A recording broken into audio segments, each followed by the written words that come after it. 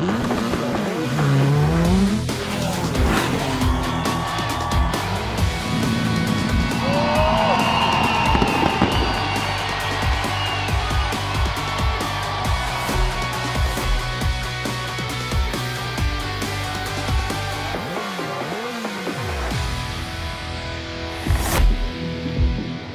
tal amigos? ¿Cómo están? Bienvenidos a un nuevo capítulo de Más Motor. Me encuentro en el Autódromo Internacional de Codegua. Estamos frente a un fenómeno que yo diría, cuando digo fenómeno estoy hablando de una activación de la marca alemana Porsche que recorre el mundo con eh, un eh, concepto que tiene que ver con la forma de cautivar a los potenciales nuevos clientes de esta marca, que por cierto tiene un contenido muy importante respecto de la deportividad, un auto que se comporta de manera increíble en condiciones normales en la vida urbana, pero que cuando se pone a disposición de un autódromo encontramos condiciones de manejo que son realmente espectaculares. También vamos a revisar en el contenido de hoy todo lo que está ocurriendo con nuestro campeonato Copec Rally Móvil respecto de cómo está la punta del campeonato y por supuesto novedades de la industria automotriz mundial. De esta forma y como siempre, con mucho cariño, con mucho afecto, bienvenidos a un nuevo capítulo de Más Motor.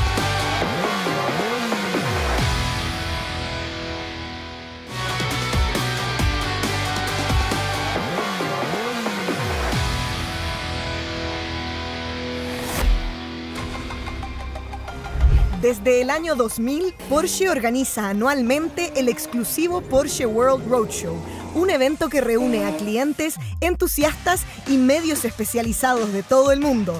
En este emocionante encuentro, los asistentes tienen la oportunidad única de poner a prueba la impresionante performance de los distintos modelos de la icónica marca alemana, experimentando la emoción y la innovación que solo Porsche puede ofrecer. Con una trayectoria global que abarca más de 45 países, el Porsche World Roadshow regresó a Chile después de ocho años de ausencia, generando una expectación frenética en el Autódromo Internacional de Codegua. La vuelta al país fue un acontecimiento emocionante que reunió a aficionados, entusiastas de la marca y prensa automotriz de distintos países de Sudamérica, quienes pudieron vivir una experiencia inolvidable del deporte motor. El día comenzó con una atmósfera electrizante en el autódromo, donde los participantes llegaban con anticipación para vivir una experiencia inolvidable. Mientras esperaban el inicio de las actividades, sus miradas se posaban en la impresionante flota de Porsche que los aguardaba. Estos exclusivos vehículos, especialmente traídos desde Alemania, corresponden a la vanguardia de la marca. Modelos como el 911 GT3 RS y el Cayenne e-Hybrid prometían una jornada llena de adrenalina y emoción. Después del desayuno de bienvenida, los instructores de Porsche ofrecieron una charla técnica para repasar reglamentos y técnicas de manejo deportivo. Divididos en grupos y guiados por instructores expertos certificados por Porsche, los invitados pusieron a prueba las capacidades de los modelos más emblemáticos de la marca, explorando sus límites en diversas pruebas como off-road, handling y slalom. A continuación, nos subimos al Porsche Cayenne junto a Chesito Méndez, experimentado instructor y coach de Porsche, para una emocionante prueba off-road. Pueden ver con qué facilidad sube, a pesar de ser el Cayenne base o el Cayenne S. El torque que tiene para subir ya no necesitas caja reductora. Luego llegaremos al descenso. En el descenso recuerden esperar a que se ponga verde el control de descenso, Porsche Hill Control. Entonces soltamos los pedales, el Porsche Hill Control me controla la velocidad de descenso, no estoy tocando ningún pedal y bajo a 2 kilómetros por hora. Vamos a 25 grados de inclinación en este momento, como ven en la pantalla central. Entonces, 26, realmente una muy buena inclinación. Se siente bastante, pero el coche es súper estable. Ahora subimos a la inclinación lateral. Hay que ir cerca de los postes rojos del lado derecho. Van a llegar a una inclinación sobre los 25 grados. Es una buena inclinación. Luego venimos a los vados donde vamos a tener dos ruedas realmente con apoyo y dos ruedas en el aire, sin, prácticamente sin apoyo. En sí desde el coche no se nota, el chasis se siente completamente plano y pasa con una facilidad impresionante, pero si lo vemos desde fuera, una rueda va a estar volando totalmente en el aire. Y en el siguiente ejercicio, el cañón, que es un cruce de puentes, quiero que el Cayenne que va detrás vea lo que está pasando con los neumáticos del de enfrente.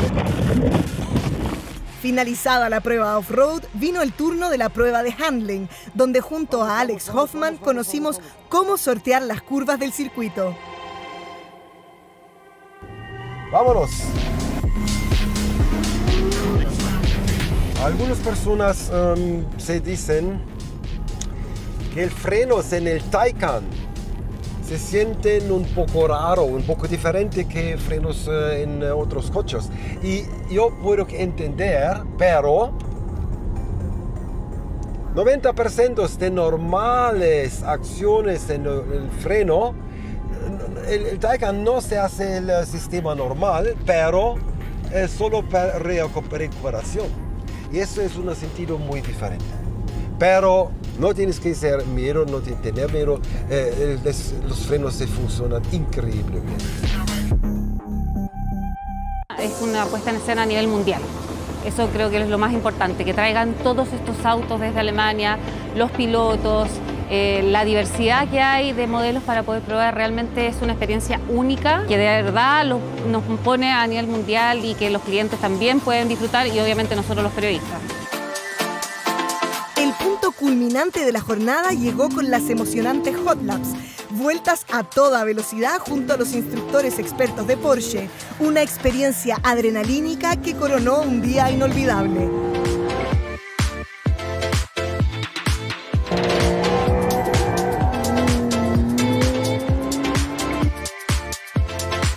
A ver, una experiencia de verdad inolvidable. Este tipo de eventos es muy difícil de poder encontrar una mezcla de tener una capa completa de productos, muchos autos que traen de Alemania, autos que se disfrutan en pista, algunos incluso off-road, y que terminamos con una hot lap donde realmente lo llevan pilotos que tienen una experiencia increíble y demuestran que pueden ser autos que están todo el día con este nivel de exigencia y que están impecables.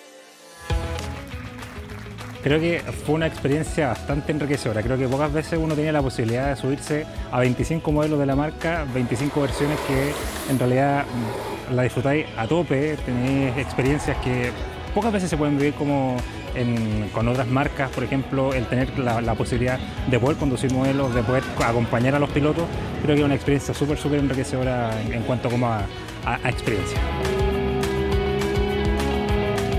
es mi primera vez en Chile, la pista me encantó, tiene curvas lentas, curvas rápidas y este evento es espectacular porque tenemos toda la gama de autos de Porsche y creo que con las sonrisas que les vi quedaron encantados. No se separen de Más Motor. A la vuelta de comerciales conversamos con Vicente Díaz, brand manager de Porsche en Chile, y Shawan Ruiz, Experiential Marketing and Motorsport Latin America, sobre la importancia de que este importante evento haya vuelto a Chile.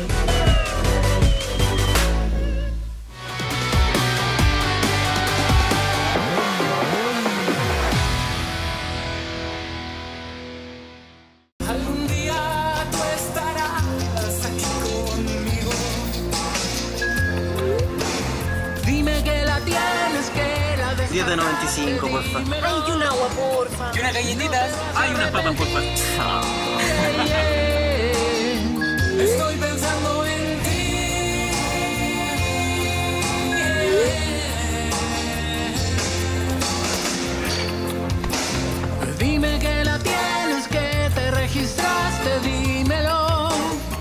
Estoy pensando en ti.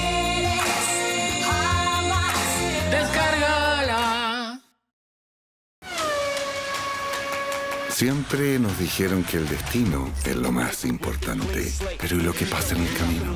La ruta, la libertad, las experiencias, la pasión, la gente,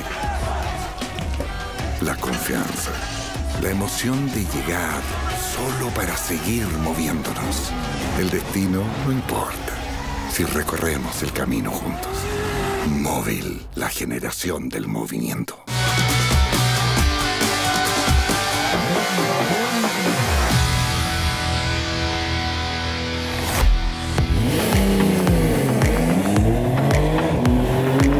Vicente Díaz Porsche World Roadshow en Chile. Tu auto llegando atrás nuestro. Cuéntanos un poquito de esta experiencia tremenda. Bueno, Colombo, efectivamente para nosotros es un tremendo privilegio después de, creo que ya fueron casi ocho años desde la última vez que contamos con un evento así, de tener el Porsche World Roadshow Chile 2024 finalmente volviendo a nuestro país. Es un evento muy especial para nosotros, también para la fábrica. Contamos con 25 autos traídos directamente de Alemania, con pilotos de fábrica también, todos profesionales. Y es una oportunidad única donde clientes, prospectos y prensa especializada en un día tienen la oportunidad de pasar por el line-up completo de la fábrica, conocer nuestros SUVs, conocer nuestros deportivos, conocer Cayenne, Macan, 911, 718, en una jornada a través de circuitos de aceleración, handling en pista, circuitos road. Un slalom que es cronometrado también. Y que lo... Un slalom, o sea, claro, somos una marca deportiva, competencia, tiene que haber algo de competencia. Y estos clientes pueden vivir y sentir la deportividad que caracteriza a Porsche. Hoy además eh, hay ahí una primicia, un hito bien importante, porque mm, en cuanto a la repostación del combustible hoy, eh, no estamos trabajando solo con combustible convencional que uno carga en una estación de servicio, sino que con e-fuels. E-fuels. Así es, pues mira, es un muy buen punto. Qué bueno que lo mencionaste, Colomba. Yo creo que ya algunas personas conocen esta estrategia, dual de Porsche. Por un lado, eh, desarrollar motores a combustión, pero también estamos muy comprometidos con la electromovilidad. Eh, sin embargo, sabemos que hay un parque importante de vehículos a combustión que nos van a seguir visitando por mucho tiempo y que los queremos ver circulando por mucho tiempo. Y en ese sentido, eh, Porsche se ha involucrado fuerte en alternativas. El desarrollo de los e-fuels son una tremenda alternativa para poder darle continuidad a esos vehículos. Y mm, es por eso que Porsche participa hoy en día con HIF, que es la empresa que está desarrollando este producto en, Punta Arenas, específicamente en la Patagonia, pero nunca habíamos tenido la oportunidad de darle una aplicación práctica. Y es por eso que hoy en el Porsche World Roadshow 2024 contamos con ese combustible especialmente para los vehículos, así que los vehículos que escuchamos que están rodando en pista están alimentados, por decirlo de alguna manera, por e-fuels, eh, que son combustibles que al final del día en su proceso de producción eh, liberan oxígeno y por ende neutralizan o netean eh, la huella de carbono que emiten los motores de combustión. Yo tuve la oportunidad de estar en la planta en Punta Arenas hace poco más de un año. Excelente. Cuando hicimos el viaje con Curves con Stefan Bogner, también con la marca, con los Cayenne, por la Patagonia. Eh, y es un lujo y un privilegio el que tenemos de tener una planta como esa en Chile porque es, es una exclusividad prácticamente. Así es, es una planta prototipo, por decirlo de alguna manera, para primeramente a una escala más pequeña probar de que el proceso productivo efectivamente funciona, se puede hacer pero no es solo eso, eh, está considerado que eventualmente esa locación vaya escalando para que potencialmente el día de mañana haya producción comercializable. Actualmente todo el combustible que se produce se envía a Alemania para desarrollos y pruebas en nuestros centros de pruebas de Porsche y también para los circuitos de carrera Mobile Cup que corren a lo largo de Europa.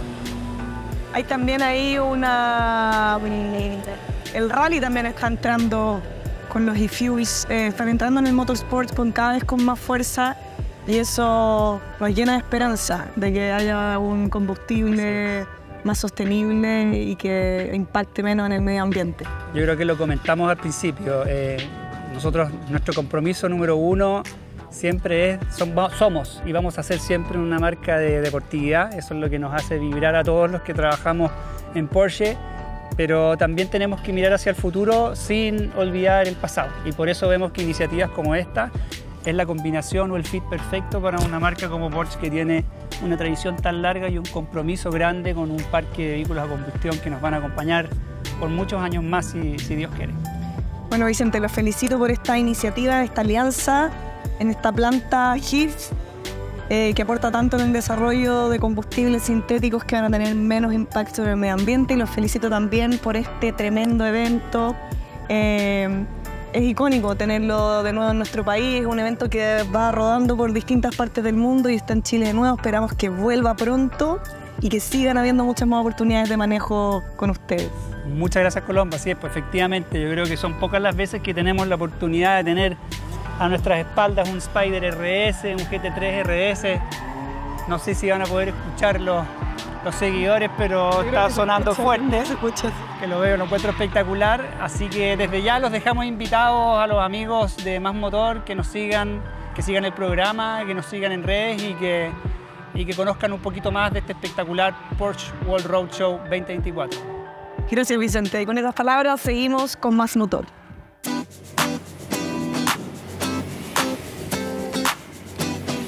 Shawan Ruiz, Experiential Marketing Manager de Porsche Latinoamérica.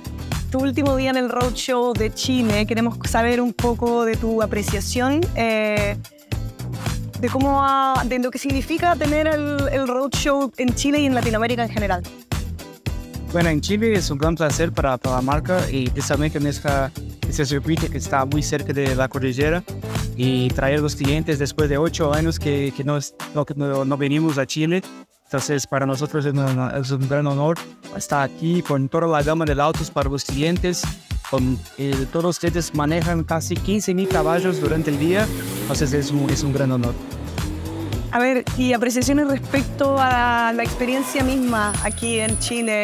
Eh, hoy día comentabas por ahí que es muy bonito tener un autódromo donde uno pueda estar viendo la cordillera de los Andes. eh, las ganas de que quizás podamos seguir haciendo en Chile o en el resto de Latinoamérica. La próxima estación es República Dominicana. La próxima es República Dominicana y después vamos a rodar por toda la, la re- región latinoamericana.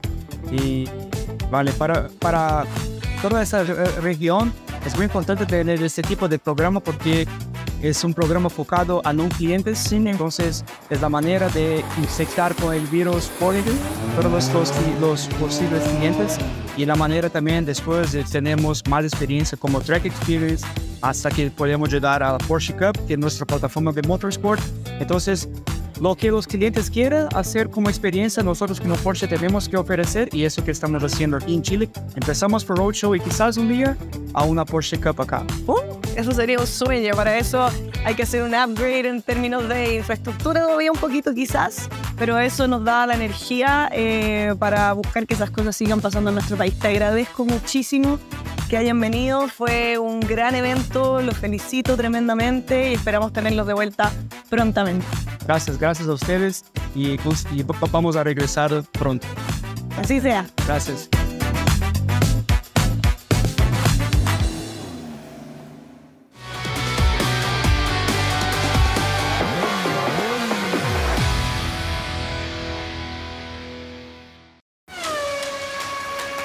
Siempre nos dijeron que el destino es lo más importante, pero ¿y lo que pasa en el camino?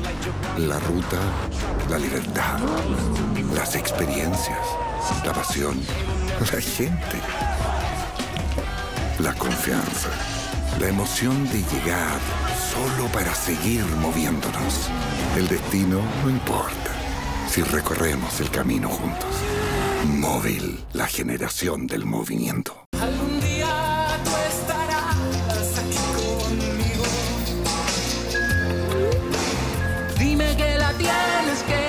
10 de 95, porfa. Ay, un agua, porfa. ¿Y unas galletitas? Hay unas papas, porfa.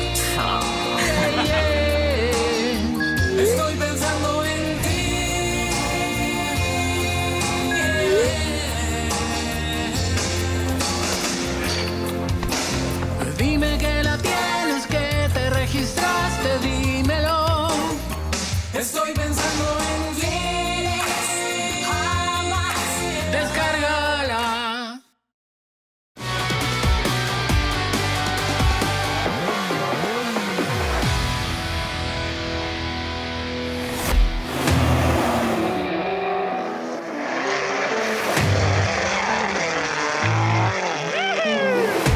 campeonato Copec Rally Móvil ha tenido casi siempre definiciones espectaculares a lo largo de su historia no es novedad. Especialmente en la última década o década y media, los campeones de sus diferentes clases se han definido a último momento. A falta de dos fechas y con 59 puntos en juego, el certamen 2024 muestra a Jorge Martínez 10 unidades más arriba que Alberto Heller en la puja por la categoría RC2 Pro. Una diferencia tan exigua que parece devolvernos a la situación de diciembre del año pasado en Osorno, cuando el nuevo monarca recién se supo en los metros conclusivos del Power Stage. Hasta ahora el piloto del Skoda Fabia RS de CBTech se impuso en tres de las seis competencias disputadas. Jumbel, el Rally Chile Bio Bio y Río Bueno Lago Ranco La Unión. Mientras que el volante del Citroën C3 de Joker prevaleció en Chillán Viejo y Quillón. Arauco, entre tanto, fue para Martínez Cuncio. El campeón 2022, por su parte, se adjudicó una mayor cantidad de etapas, seis contra las tres de su principal adversario. Izquierda 1 a fondo. Para Lomita con derecha a fondo. 60, baja con derecha 1, más larga de 60. Muy tarde se cierra mucho. Martínez reúne 139 puntos y es escoltado por Alberto Heller con 129. Por muy poco el tercero, que es Pedro Heller, escapa de tener posibilidades matemáticas en esta puja, a diferencia del último año. Yo creo que todo puede pasar en este minuto. Puede ganar el Beto, puedo ganar yo. Eh, así que bueno, son cosas que, que, vamos a ir resolviendo a la medida que van avanzando las carreras, pero lo que sí te puedo asegurar es que nosotros como equipo, como tripulación, estamos dándolo todo para, para tratar de quedarnos con el campeonato. Desde que sufrió un golpe menor, pero con daños estructurales a su auto, Tadeo Roselot se ausentó de la quinta y de la sexta cita del calendario, lo que no le impide ser aún puntero en la subdivisión RC2 con su Citroën. El Viñamarino suma 96 unidades, 27 más que las de Eduardo Kovacs y 39 más que las del peruano Jorge Martínez. Sumamente intensa es la batalla también en la RC4, donde Ignacio Gardiol ha querido distanciarse del resto en los meses más recientes, si bien sus perseguidores no han dado el brazo a torcer. El uruguayo del Renault Clio Rally 4 totaliza 115 puntos, merced a los cuatro éxitos consecutivos alcanzados desde Arauco hasta el presente. Todavía eh, faltan dos fechas, dos fechas dobles, las diferencias no son muchas. Eh, si, Mario, por ejemplo, que está cerca en el campeonato, siempre está segundo, las diferencias son pocas, así que eh, hay que tratar de ir a la próxima carrera de vuelta con la misma mentalidad, tratar de, ganar o por lo menos de, estar cerca de él y, y, bueno, poder mantener esa diferencia de puntos en las próximas dos fechas. El segundo es Mario Parra con 96 puntos. Permanentemente al acecho, el piloto del Opel Corsa deberá salir al ataque en Puerto Monte Osorno, tal como lo debe hacer el tercero, Felipe Arenas, quien se ubica cerca al haber reunido hasta aquí 80 puntos con su Peugeot 208. El panorama es idéntico hablando de la categoría Rally 4. Por un solo punto, el chilote Lucas Palma no puede terciar en un duelo en el que seguramente estaría inserto legítimamente no haber sido por varios episodios puramente desafortunados. Analizar algunos errores que tenemos, evaluar si podemos o no pelear un poco más el campeonato y si no simplemente desistir a, a pensar en un 2025. Max Sfeir no completaría su primera experiencia nacional en R3 con el Clio 1.6 aspirado, incluso siendo escolta próximo de Tomás Gallardo, quien manda con su Citroën DS3. El joven debutante de la familia Roselot tiene 77 unidades y precede por 21 a Sfeir. En R2 los caprichos numéricos reflejan que cualquiera de los cuatro competidores que hasta ahora han recogido unidades pueden ser campeones, aunque quienes mejor llevan la situación son el líder en la tabla Harold Cohen con 60 y su perseguidor Christian Domke Padre con 48. Detrás de ellos se ubican Rodolfo Iglesias con 23 y Arturo Leal con 13, si bien este último condujo esporádicamente un vehículo de reglamentación Rally 5.